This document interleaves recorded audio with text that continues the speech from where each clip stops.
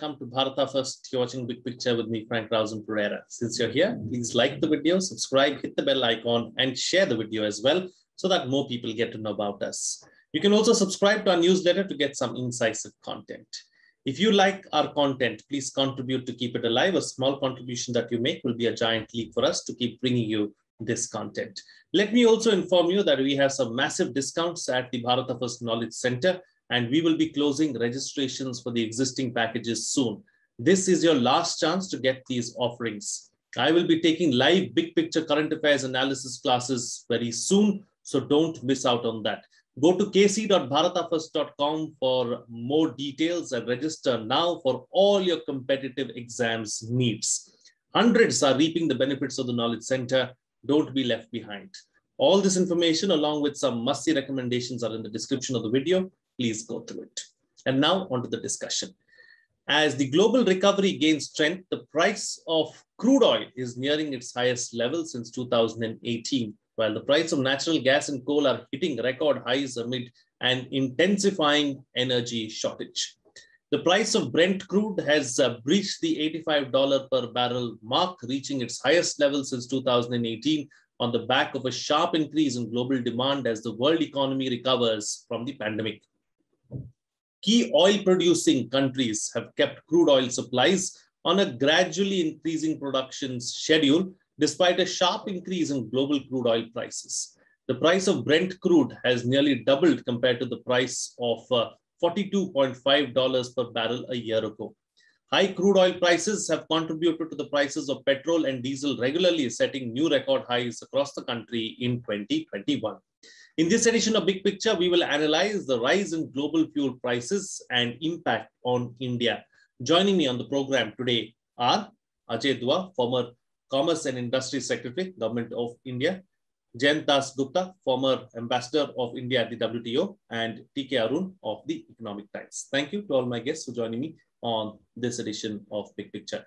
Um, Sudha, let me start the program with you first. You know, let's uh, analyze this global fuel price rise. And, uh, you know, let's not forget that we've seen an upward trajectory as far as uh, economy is concerned and uh, growth and consumption too has, uh, has come back almost to pre-COVID times right now. And we've seen fuel prices also going up considerably around the globe. But as far as production is concerned, the OPEC countries are taking a calculated uh, uh, you know, gamble or move as far as increasing the production of oil and hence the prices are going up. How would you look at the entire fuel price situation uh, as far as uh, the global market is concerned? Frank, well, you're absolutely right that the, there is a recovery going around the world, particularly in all the so-called G20 nations and the ones who drive the global GDP. Let's not magnify it to that it is unprecedented levels of economic development or the escalation and uh, recovery which has taken place. It is the so-called base effect has been wiped off. The low, you know, everybody suffered, some more than others, India more than others, for instance, during the uh, year 2021 and 21-22, you've seen some, some recovery there. The fact is the, it is the production which is not at the same level as, the, as it should have been. There used to be a secular rise in production every year, be it of hydrocarbons or be it of so-called black, black, you know, black coal, lignite, brown coal, etc., which wasn't, which hasn't taken place globally in the last uh, 18 to 20 months.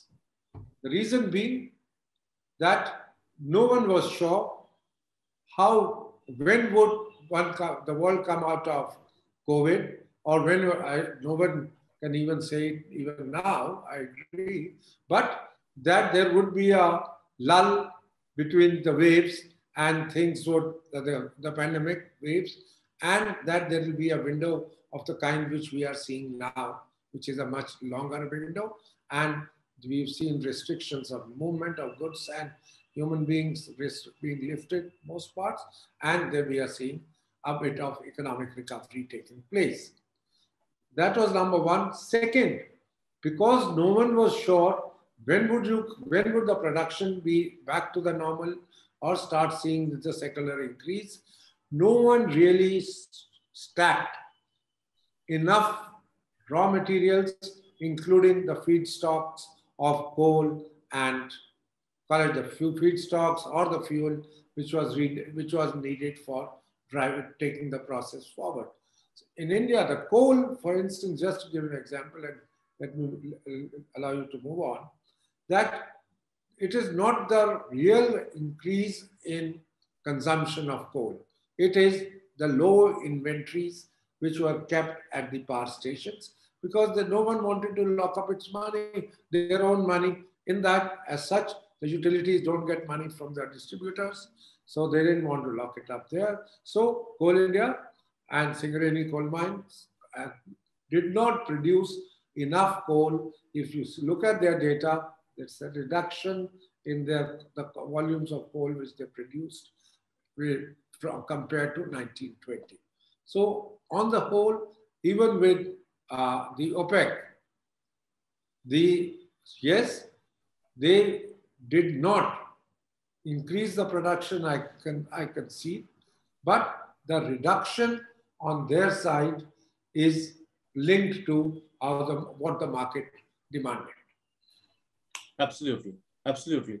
Mr. Dasgupta, let me bring you into the picture now. You know, let's talk about the global fuel prices and what kind of an impact it is having on India. And do you see this at some level having some kind of an impact on the relationship between the producer and the consumer? Because when the fuel prices at the start of the pandemic came down to about less than $20 a barrel it was countries like india who stood up for uh, the opec and said that you know we need some kind of rationalization because these producers are going to bear the brunt of it if not so do you see some kind of a rift coming through because the opec members are not, have, have decided not to uh, uh, not not to rationalize the rates now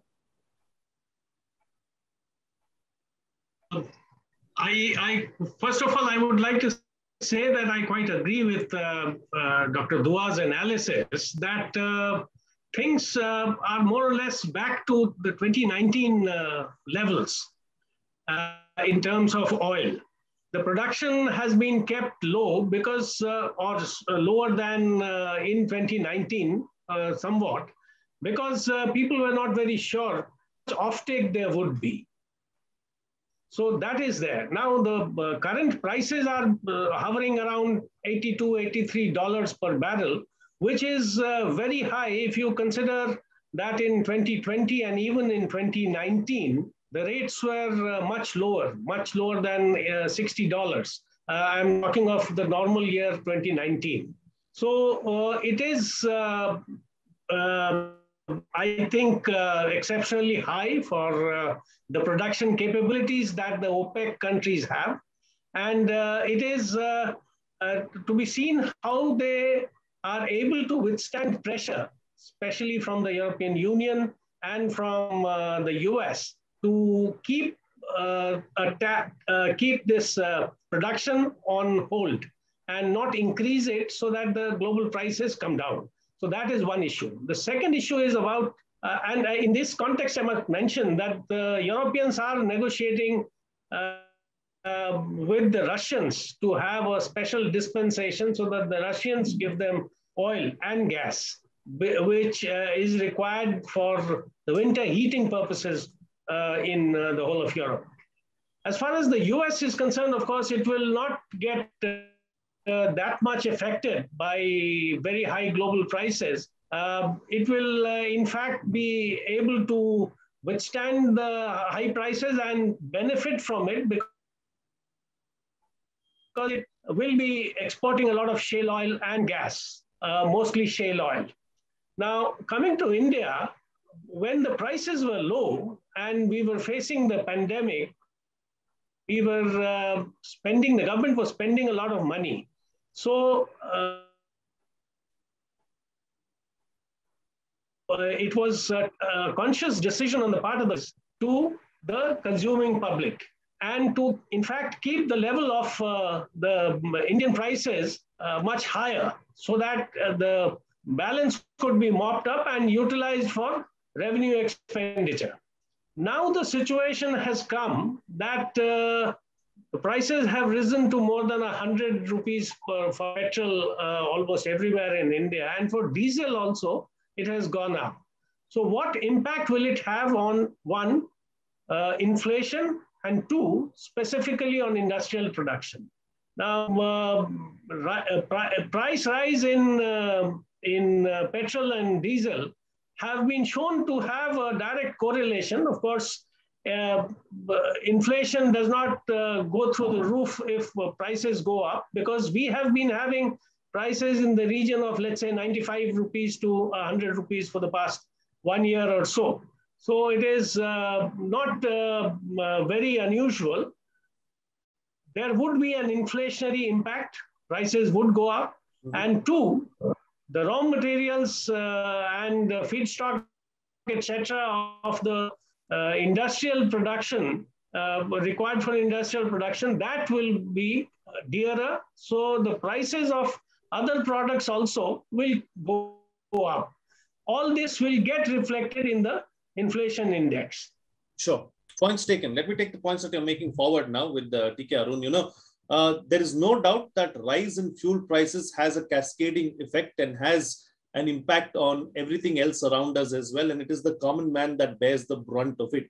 How much of an impact do you see it having on economic growth? What kind of inflationary pressure are we going to see going forward, TK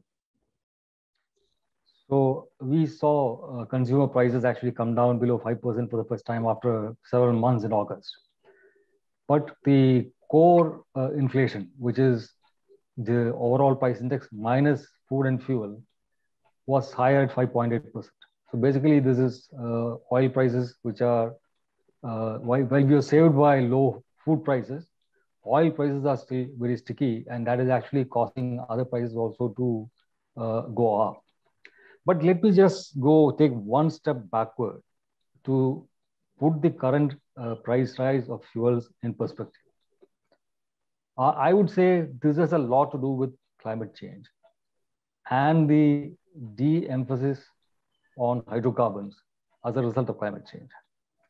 Globally, there is pressure on uh, economies, governments, uh, investors, everybody to go for uh, clean energy, renewable energy, and to de-emphasize coal and oil. As a result of that, from 2014 onwards, investment globally in hydrocarbons has been sharply down. In 2020, we even saw oil prices turn negative briefly. So all this is actually putting pressure on uh, oil companies to go slow on investment in these sectors. We saw a few months ago the uh, annual general meeting of ExxonMobil elect three members to the board of the company against the wishes of the management to press for this oil company, which is quintessentially an oil company, to go in for renewable energy to mitigate the damage it is doing because of pumping out oil. So this is the kind of pressure in which global energy companies are right now operating. Now, same with, with coal. While the price of renewable energy is coming down around the world drastically, we are not actually factoring in the cost of integrating this renewable energy into the grid when we look at the price of renewable energy and say, oh, it is so down to less than two rupees a unit now. When you buy power from intermittent sources, whether wind or solar, you have to keep your thermal power generation on the standby. Even if during the peak of the day, when you are able to fully draw lots of power from wind and solar, you have to have your thermal capacity available. It will not be operating, but it has to be available this there is a cost availability. The cost of power is the cost of availability plus the cost of fuel. So you are paying for the price of uh, availability along with the cost of renewable power when you draw every single unit of renewable power into the grid. Plus, there is a cost of strengthening the grid and the cost of integrating the renewable, intermittent renewable power into the grid. So these are all costs which are borne by everybody. Now, we are transitioning to a low carbon economy, right? Now, in this period, the mainstay still remains coal and oil. So if you decelerate investment in these sources, till we have progressed to some extent in the transition, uh, severe weather conditions of the kind we have seen in the last one year can deplete your uh, energy sources. Last winter was very severe in Europe and uh, across the northern hemisphere, which meant that a whole lot of gas that was stored during the pandemic-induced slowdown got used up for heating during the winter. Subsequently, the summer was very intense. You have heat waves across the world, again, in many parts of the world. You saw temperatures reaching 48 degrees in uh, Canada. Again, so a lot of energy had to be spent on cooling, on air conditioning. In addition, a drought in Brazil and other parts of Latin America dried up reservoirs. So they could not produce uh, hydroelectricity the way they used to in the past and instead turn to gas. So creating another demand on gas supplies. Now, all this has created, uh, put a strain on gas availability. Right. Uh, boosted by a couple of uh, outages in uh, LNG capacity in the US. Now, this is one part of the story. Now, why are we unable to produce enough coal? Uh, what prevents India, which has the fourth largest resource of coal in the world, from producing coal? This is the long-standing problem that we created this monopoly, state monopoly in coal, and then we gave captive mining rights to people who need the uh, coal uh, to produce coal so that it doesn't stay under the ground and we don't entirely depend on imports. Mm. Now, we have a very restrictive pricing regime when it comes to electricity. While people are happily paying 100 rupees and 105 rupees for petrol, Indian politicians believe that if you ask people to pay for the power they consume, they will revolt. Right. So your price of power is kept artificially low, because of which or most of our utilities are bankrupt. They don't have enough money to pay for their supply. So as Mr. Dua said, uh, we don't actually uh, keep enough uh, coal in reserve. And uh, there is a general crisis in coal availability. Sure. And the political games that we played with captive mines, when the Modi government came to power, they canceled all the captive mines saying they were all uh, corrupt. This actually delayed the uh, activation of many of these mines. And some of them still are not working even after they were auctioned off and some people have got those licenses. Mm. So there is a reduction in captive mining of coal, and coal India continues to be inefficient.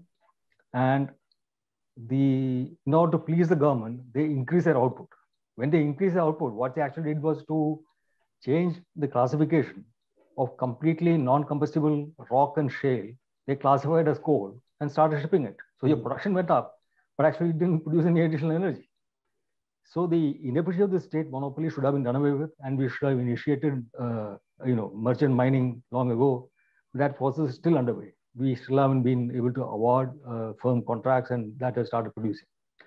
So these are all the um, of problems by, as a result of which we are witnessing a, a shortage. I sure. just want to add one thing. Yes. You know, the world is very uh, generous when it comes to the United States. The US today is the world's largest producer of oil if you take into account shale. Everybody is pointing fingers at, at OPEC and saying, you know, you because they are not uh, reducing output, they are keeping their prices uh, high by cutting on production. Why is the US not stepping up oil, shale oil production? They are also a huge beneficiary when oil prices go up. All the oil companies in the US, but they are below the radar. They escape criticism. Shale is not producing the way they used to produce. Whereas above $60, shale is perfectly profitable. You can produce uh, US capital markets are still very efficient. Uh, long-term interest rates are way below uh, 2% in the US. Hmm. They can mobilize the capital, invest in shale, and start producing. You'll have an increased supply of gas and oil. That's what's happening. Absolutely. And Russia has been trying to put pressure on Europe to clear the sanction for the Nord Stream 2 pipeline, which will bypass Ukraine and deliver gas to Germany directly. Now, there has been a lot of political opposition to this and high gas prices, Russia believes, will, and actually the belief is true, will help tame the opposition to Nord Stream 2, and they'll get the approval for that. And probably once that approval is given, they will increase supplies and some of the price rise in gas in Europe will come down. Points taken. Points taken. Very interesting uh, points made by, by TK Arun and not mincing any words, calling a spade a spade. So, Mr. Dua, let me take a couple of those points forward with you now. You know, this is a very interesting take on fossil fuels and how the world is transitioning into renewables and not much investment or not much thought is going into uh, improving the supply as well as capacity of fossil, fossil fuels because the companies themselves are not sure about what the future has in store. Frank, I, I must say I found uh, TK's analysis extremely exhilarating. But one thing which I would like to comment on was on his initial part, and that's what you were asking me about, that the transition is actually happening in the way it should happen, is what I got from TK's uh, analysis, that there is a reduction in fossil fuel consumption and that actually the world is moving towards the renewables. I think uh, that probably doesn't get borne out entirely by the little bit of data which we have of 2020. Full data of 2020 is not available because and 1920 is the one which we go by. Till 1920, the gas consumption in the rich world, uh, G20 plus a few other countries, had increased by 12%. And the coal consumption had increased globally by 5%. In China, India, Indonesia, the US, in that order, we are the consumers of coal. You know, China and India are gobbling away a major share and China almost three times ours. The point I'm trying to make is, yes, the, we need to transit the way TK said, that you know have much more renewables, etc. But he also pointed out all the constraints to making renewables the mainstay of your transmission systems. Unless huge size storage batteries are fitted into the system, it cannot be the base. It cannot be meeting the base load. The base load has to remain the combustion the fossil fuel combustions because one, technology we haven't developed for large storage batteries. The, we need not only, we need large capacity of storage batteries, but smaller size. We need batteries which are lighter in weight and more less expensive than the lithium ion which are there today. So it is going to, for instance, I just give you an example. In India, to make that 450 gigawatts, which has been announced as our target for 2030, and which the Prime Minister is likely to announce since the Prime Minister has conveyed his acceptance of the COP know, 26 meeting at Glasgow. There is a lot of expectation in what he would say. It requires an investment in our transmission system starting now of $200 billion a year. First, where the, the consumption point is, where the solar and the wind power will come from, those don't really always match. The, then you have to put in what's called a high voltage alternating current, HVAC, the, which are high voltage currents means or H, HVDC, whichever means hell of a lot of investment plus the storage batteries. And then only you will be able to have operating 450 gigawatts of power otherwise you can create the capacity but it would not be generating that the order of power which is required so this this applies globally as well i read just yesterday since i was writing something on climate change the investment required globally is over a trillion dollars to make this transition just in transmission.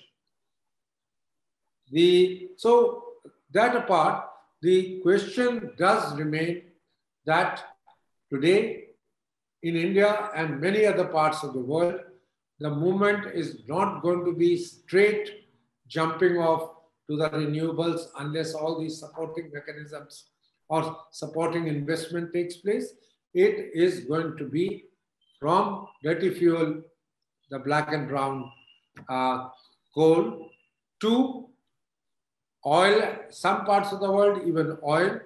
And the, in India, we are aspiring to raise the share of, and the Prime Minister himself declared, go up from 6% to 15%. Right. So it's not renewable because the you can still produce same type of power as you do from coal by using gas, moving the turbines under pressure, all mm-hmm. that kind of a thing. So the, the, the, the, what I'm driving at is that the transition to renewables is going to be gradual unless some, some, some from money comes in from somewhere and the technology improves far more. We are laying, just to complete my argument, we are laying hell of a lot of store uh, uh, on hydrogen. Today, if we use the hydro, the normal way of producing hydrogen globally is electrolysis. That means water split into hydrogen and oxygen. Oxygen we use somewhere else, hydrogen we use either for fuel cells because fuel cells can carry much more hydrogen than our tanks, etc. Or we put it in pipes and move it. But the global capacity for electrolysis is 2000, and I'm, I'm saying it responsibly, 2000 megawatts. And what is our consumption? Globally, 200 times already. What it will be 10 years later. So you have to be moving. You know, Reliance has tied up with one of these electrolysis makers uh, is in uh, Denmark. During the Prime Minister of Denmark's visit, there was an agreement signing or an MOU signing with this company in Denmark. So we need to move away and it's very expensive. Today, as Mukesh Ambani declared it in his AGM when he talked about moving into hydrogen, it costs $6 a kilogram to produce the hydrogen. Right. It announced that he wants to bring it down to $1. Probably he might be able to do it, but if he produces this hydrogen on a global scale, hmm. and the technology which he gets into India or from outside becomes available to others. If it, technology is going to remain confined to a handful of people, you would see the, all the consequences of a monopoly being there and the transition wouldn't be there. Absolutely. So apart from finances, this technology transfer is an issue which is extremely important to really see the transition take place. All this, if you and I know, Frank, in this discussion, the investors in oil and gas know it even better. Absolutely. They are not going to waste it. So the when with 12% gas consumption increasing, coal consumption increasing, the and substitution of oil is by gas, but the investment from one part of the hydrocarbon industry is taking place in another. Sure. Absolutely. Points taken.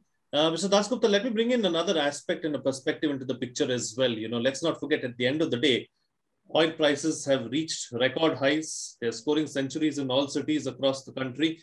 And the common man is concerned about this because it's burning a hole in the common man's pocket. So as far as options are concerned, you know, to try and offset the prices, what, what are they? Um, in the short term, I can't think of anything which will bring down the prices of oil because our import bill is uh, dependent on $83 per barrel. But in the long run, we can do various things which discussed, of course. Uh, one of them, you know, uh, for instance, uh, rather than have five-day attendance, you can have three-day attendance. But in the manufacturing industry, it may be difficult. In the services industry, for instance, uh, especially people who are working from home, it uh, does save a lot of fuel. But now with the pandemic uh, on the wane, at least in India, uh, there are many very large uh, companies which uh, employ lakhs of people who are thinking of retaining some people at the work from home level and uh, asking the others to come to office, but not on a regular basis, not for five days a week, perhaps for two, three days a week. So that could also lead to some uh, conservation of uh, our uh, fuel bill or our resources and uh, reduction in our fuel bill. But that remains to be seen. But the ma major part of uh, our transportation is dependent, whether it is our diesel locomotives, which haul um, um, you know, goods across the country, or the trucks, which drive the economy. They are dependent on diesel. So personal transportation can be reduced a little bit, but transportation of goods, I think uh, it will be very difficult to uh, really make a dent. The last point is that we have been trying to, for the past uh, many years, trying to develop our inland waterways. And that is uh, one way of nation. So that is the third thing. The last point which I wanted to mention in the context of what Mr. Dr. Dua said, it is absolutely correct that uh, at the moment, uh, um, hydrogen, I think the whole economy is taking baby steps. But there are very uh, interesting developments which are taking place, including green hydrogen. Um, in fact, uh, some pilot plants are being set up even in India one has been, uh, is almost uh, uh, through in Oman and in various parts of the world. So hydrogen will perhaps, if the costs can be brought down, and very importantly, you know, in the climate change talks, $100 billion worth of funds were to be created for the transfer of technology for developing countries. Now, unfortunately, most of the donor countries, the large donors, they uh, did not quite uh, uh, contribute to building up that $100 billion fund. And it was very disappointing. So unless the world as a whole takes this very seriously, and there is this, um, this emphasis on cooperation because it is a global problem. If there is no transfer of technology, the poorer countries will keep on burning fuel, fossil fuel and uh, adding to the, the, um, uh, the carbon uh, footprint in the globe. So, so that is extremely important. So the next climate change talks, I think, apart from focusing on when does you know the emissions of a country peak and when does it become carbon neutral in fact i think china has taken a very bold step that it is sticking to its uh, commitment that by 2030 it will uh, have peak emissions. And by 2050 or 2060, it will be carbon neutral. So it will then be dependent on um, solar, wind, hydel, and perhaps uh, hydrogen or some But it will give up its depend on the extent of about 65, 66% on coal for sure. its uh, energy production. So that is uh, with China's resources, with its uh, uh, drive towards developing new technologies, we are sure that it will be able to and uh, and uh, take its share of the of responsibility in this regard. Points taken. Uh, uh, Arun, coming back to you now, you know, let's look at the consumption really as far as uh, uh, fuels in India is concerned. You know, if you look at the September data, uh, petrol consumption has gone up by almost 10% compared to the same time last year. And uh, diesel has not gone up as much. It is only about 6% uh, for the same time as last year. Uh, and if you look at diesel, it is used heavily in industries and agriculture. So does this tell us a story as well? I think the traditional stories we deduce from consumption of diesel might need to change from the fact that we have now laid power lines to practically all villages. And you can actually supply grid power during off-peak hours for agriculture purposes, and they don't really need to use diesel pumps. This need to be factored in while we analyze this data. So economic activity is picking up. So uh, and is picking up robustly. So I think we will see larger consumption of petrol and diesel. But uh, one way to bring down prices is to reduce some of the taxes we levy. The bulk of the price of petrol and diesel at the uh, petrol pump today comes from taxes levied by the center and by the state governments. So both can actually agree to pay some of these taxes and pass it on to the consumer.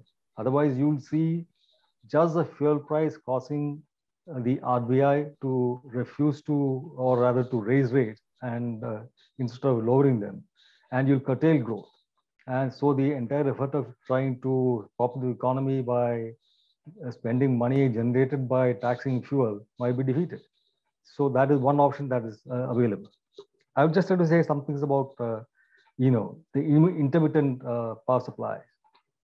yes, hydrogen is one way of storing power you can have pump storage. You can pump water up to, up to an uh, altitude and then run it down to turn a turbine. That is the most traditional conventional way of uh, storing uh, power generated during peak hours of solar and wind activity.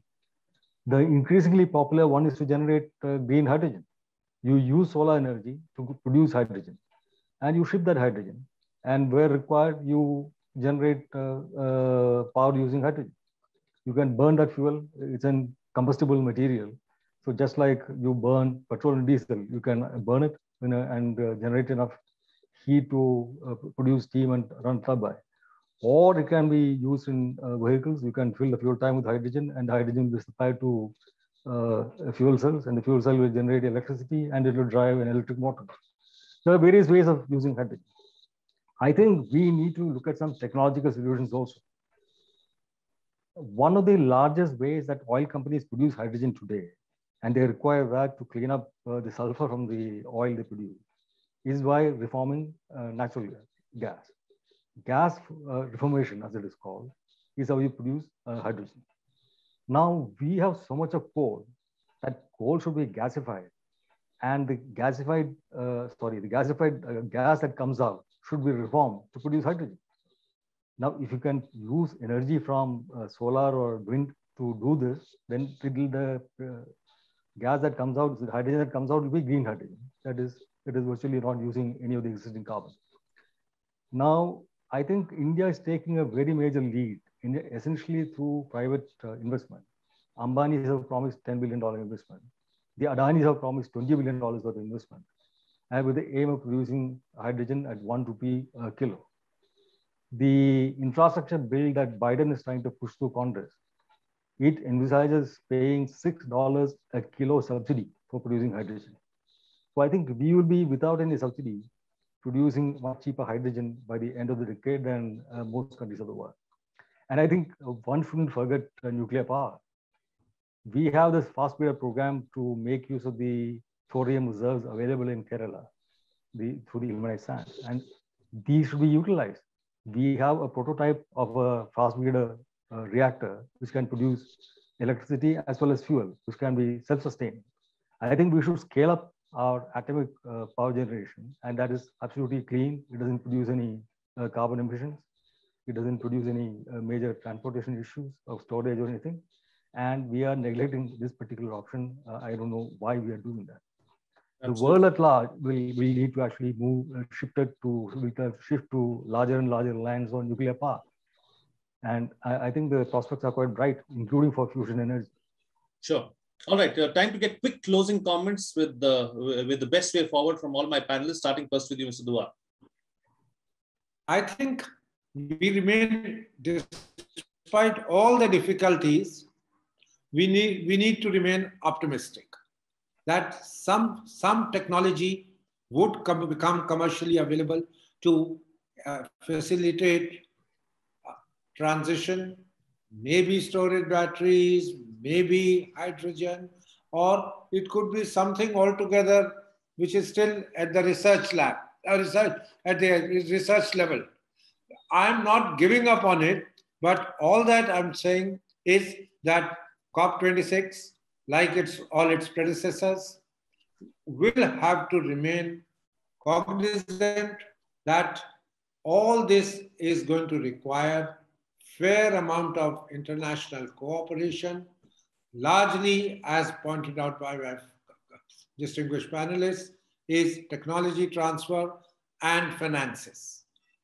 And it might be useful to set ambitious targets rather than taking conservative ones, because the moment you take conservative targets, all we will start forgetting about climate change and the importance which it deserves. Whereas what we have seen in the last two years in particular, and this year with heat waves in the US, Canada, Brazil, uh, uh, all kinds of places, as well as in India, uh, the floods, hurricanes, that what is required is urgent action rather than postponing it. So accepting more ambitious targets of carbon neutrality, stopping, uh, ceasing altogether coal, coal burning by 2030 for some nations, by 2040 for another set, 2050 for probably the least developed countries, mm-hmm. is some graded sort of a way forward. And that can come about only if we remain optimist, even if it's not getting substantiated by past, that the future would be greener and a brighter. one. Absolutely. Mr. Dasgupta. Um, uh, in brief, I think uh, this present uh, shortage of fuel or the high prices, uh, they are uh, not going to last for very long. I think uh, we may see it run its course over the next six to eight months, and things may get back to normal. that is to about the 2019 levels, not the 2020 levels. So that is one thing. But this is a warning bell. And this is something which the rest of the world needs to wake up to. And uh, in uh, the COP26, very serious consideration has to be given to technology transfer, to building, building up a corpus, and to thinking of ways of solutions of tackling it on a global scale with the international cooperation with uh, all uh, uh, countries pooling their resources together, technological, uh, financial, human resource, everything together. Absolutely. And TK Arun, close the show for us with your concluding remarks. Yeah, I agree with Mr. Uh, Dasgupta on uh, the likelihood of the shortage being very temporary. I mean, if the US were to conclude a deal with Iran and revive the uh, Iran nuclear deal, you could see Iranian uh, output of oil and gas coming into play. Uh, if OPEC can be persuaded to, and similarly, the US also agrees to increase production, you can see additional uh, output coming in. Russia will probably start supplying more gas as soon as the Nord Stream, uh, Nord Stream 2 is approved. I would like to say just two, uh, two things. One, India needs to make our power prices flexible. All energy prices must be flexible. This is the only way we can uh, create easy substitution of fuels. If one fuel is, uh, becomes more expensive, then it can be substituted with another, only if there is flexibility. So this might see some prices go up. Then the solution is to protect the vulnerable people by transferring subsidy to them, not by keeping prices down. If you keep prices artificially repressed, the adjustments that are required to create efficient increase in production and reduction in demand will not take place. That is one thing. Second thing is, as I said, you need to increase your uh, nuclear uh, option open and keep that keep that uh, going up uh, even further. And the third thing is to increase your R&D on making clean use of the coal that you are plentifully uh, endowed with we can't afford the biggest primary source of energy that has been given to us by nature in our country. The point is to find technology that will allow us to make clean use of this without adding to pollution. Such technologies exist or need to be invented, and I'm sure that can be done. And I think uh, we should not uh, give up on this uh, effort. Absolutely. All right, gentlemen, we'll have to leave it at that. Thank you so much for joining me on the program and putting things into perspective for us. Well, what's coming out of this discussion is that climate change is real and things can only get worse from here. We are witnessing unusual weather activity. What we need is better planning and seriousness to deal with the situation at hand. What we are witnessing is years of neglect uh, to the environment, and we have to take action right now. We need strong efforts at the local, national, and global level. Our inability to assess risk always comes to the fore when nature's fury strikes. We are reactive, not just in India, but around the world. We have to be proactive. What we do, we should uh, be better, like building the right kind of uh, uh, buildings depending on the region and topography. Map, plan, and adapt. That is the mantra. Well, before I go, let me once again uh, remind you to like the video, subscribe, hit the bell icon, and share the content as well so that more people get to know about us. You can also subscribe to our newsletter to get some incisive information. If you like our content, please contribute to keep it alive. A small contribution uh, that you make will be a giant leap for us to keep bringing you this content. Let me also inform you that we have some massive discounts at the Bharat First Knowledge Center, and we will be closing registrations for the existing packages soon. This is your last chance to get these offerings. I will be taking live big picture current affairs classes starting very soon, and uh, this will give you a chance to interact with me on a live basis. So don't miss out on that. Go to kc.bharatafirst.com and register right now. Hundreds are reaping the benefits of the Knowledge Center. Don't be left behind. All this information, along with some must-see recommendations, are in the description of this video. Please go through it. That's it for me. See you again next time.